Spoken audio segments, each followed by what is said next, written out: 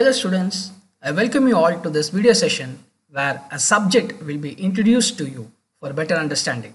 I am Anwar from the Department of Computer Science and let me break down the whole syllabus into unit wise and discuss the first unit today.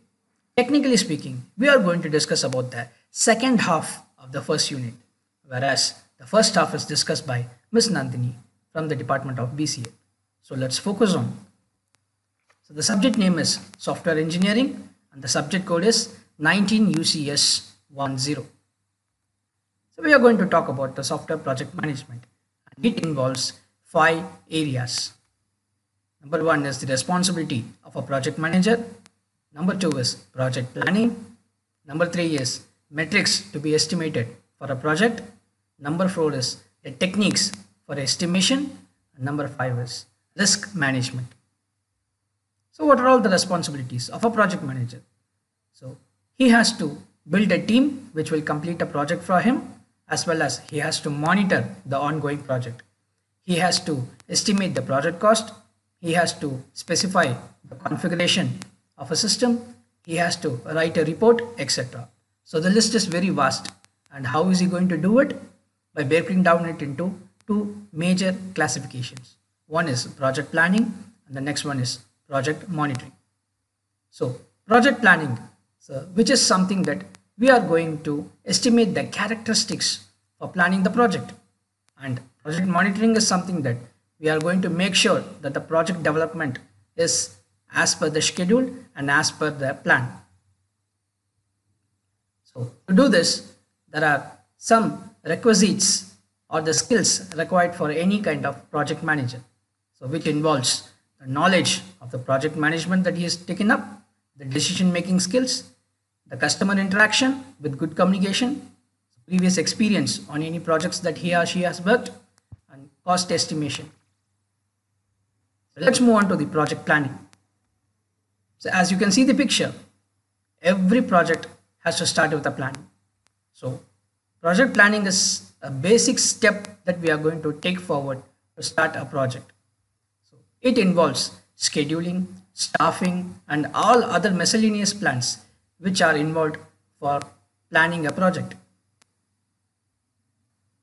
So to do this, we are going to talk about a sliding window planning. So which is a very accurate step taking, so which involves at the beginning stage of any project. And when you are going to talk about the metric estimation, so we are going to talk about two basic areas. One is LOC, line of codes, and the next one is function point. So what is this LOC? LOC is nothing but the number of lines that are going to get involved that we are going to develop as a software. So we are going to count the number of lines and we are going to give it as a metric in kilobytes, megabytes, gigabytes, etc. The second one is function point. So function point is something that it is an idea so which can be involved in any software that we are going to develop. So every software project has a function point which also involves certain lines of codes. So the next area is project estimation techniques.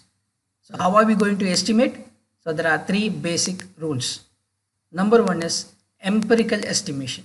So which we are going to use our educative skills to make a random guess of how the project is going to get completed.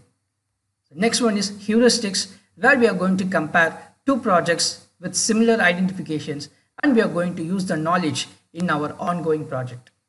The third one is analytical estimation where we are going to use our cognitive skills to assume what the project is going to be up to and how is it going to get completed. So next thing is risk management. As you can see, the picture says lots of words.